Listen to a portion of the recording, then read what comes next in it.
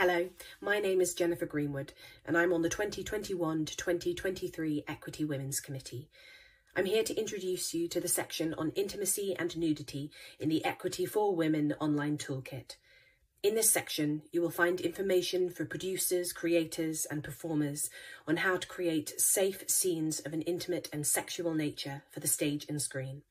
There is also information on the casting process and information on nudity clauses. This toolkit is created for you, so please use it and spread the word as far as you can. Thanks.